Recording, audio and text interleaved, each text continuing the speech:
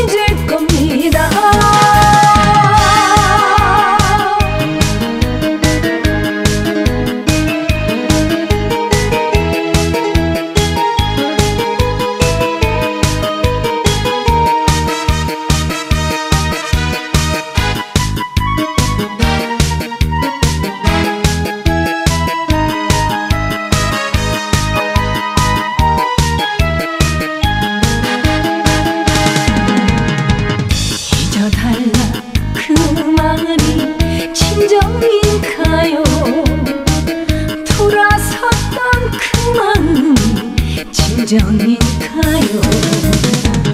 호솔길을 걸으며 죽어봤던 그 사람